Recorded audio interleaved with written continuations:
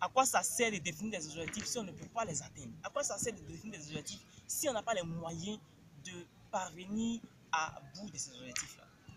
Une personne a posé cette question et j'ai été très heureux d'avoir cet échange avec cette personne-là parce que à la fin de la discussion, cette personne m'a dit merci beaucoup, tu es vraiment un visionnaire. Je lui ai dit non, un visionnaire, reconnais toujours un visionnaire. Toi aussi, tu es un visionnaire. Alors, mon très cher visionnaire, aujourd'hui dans cette vidéo, je viens te partager ce que j'ai eu avec cette personne-là, un aîné, hein, ce que j'ai eu à partager avec cette personne-là parce que je crois que tu en as besoin. Si tu en as besoin dans la mesure où tu es certainement quelqu'un qui n'aime pas définir des objectifs, qui n'aime pas définir des buts, parce que tu trouves que ça sert à rien. Tu n'aimes pas, ou, bien, ou du moins peut-être que tu arrives à définir des objectifs, mais tu ne vas pas jusqu'au bout. Tu n'arrives pas à tenir chaque, chaque fois de but, d'objectif en coup de chemin.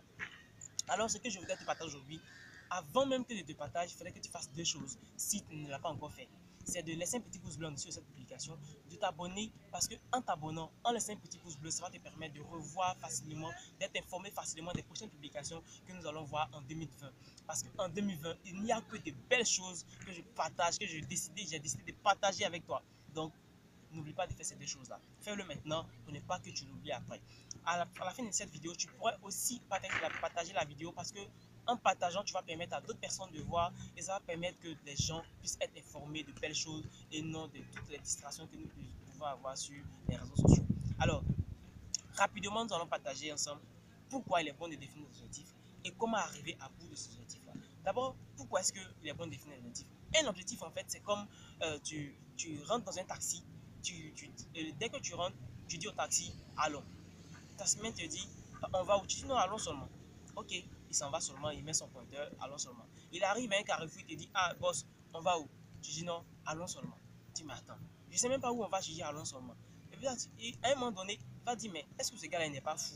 Est-ce que ce pas un fou qui est en train de conduire À ce moment-là, il va il va, il va commencer à tellement réfléchir qu'il risque de te faire descendre. Et c'est comme ça en fait la vie. la vie est comme euh, ce taxi que tu as pris. C'est ta vie qui est là. Et ton cerveau, c'est le chauffeur.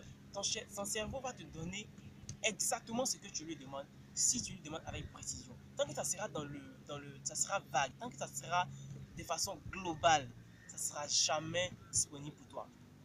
Donc, une fois que tu veux arriver à bout de quelque chose, lorsque tu veux obtenir quelque chose, définis-toi des objectifs. Et lorsque tu définis des objectifs, définis-toi un plan précis pour arriver à, à, à atteindre ces objectifs-là. Maintenant, c'est souvent il y a des gens qui disent non, ça sert à quoi définir des objectifs si je n'ai pas les moyens d'y arriver? Non, en fait, le, problème, c'est que tu définis tes objectifs non pas en fonction de tes, moyens que tu as, mais en fonction de ce que tu veux dans la vie. On s'en fout des moyens qu'on a, on s'en fout de ce qu'on peut faire ou on ne peut pas faire. L'essentiel, c'est ce que je veux faire, c'est ce que j'ai envie de faire. Que j'ai les moyens ou pas, je vais définir cet objectif-là. Maintenant, les moyens vont arriver après. Donc, la première chose, c'est de définir les objectifs. On s'en fout qu'on ait du potentiel actuellement ou pas.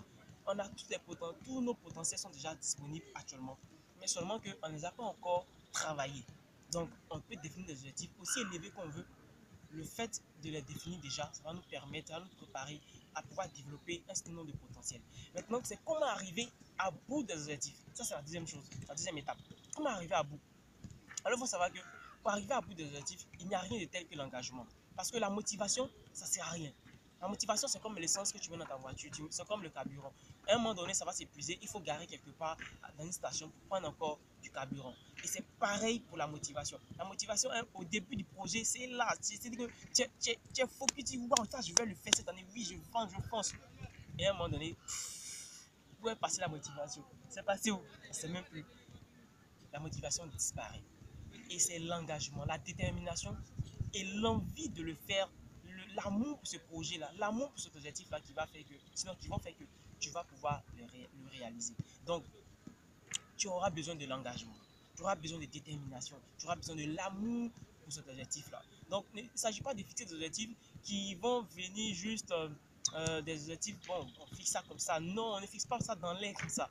C'est des choses qui t'inspirent vraiment. C'est-à-dire, qu'est-ce que par exemple tu as envie de faire pour ta famille? Qu'est-ce que tu as envie de faire pour l'humanité? Ce sont des choses-là. Quand tu réfléchis à ça, que tu fixes des objectifs en fonction de ça, la motivation, que ça baisse ou pas, l'engagement, l'amour de cette chose, la détermination vont faire que tu vas arriver à plus ces objectifs-là. Alors, merci d'avoir suivi cette vidéo, mon cher visionnaire.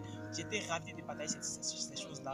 Et je te dis, n'oublie pas, tu es obligé de réussir. À très vite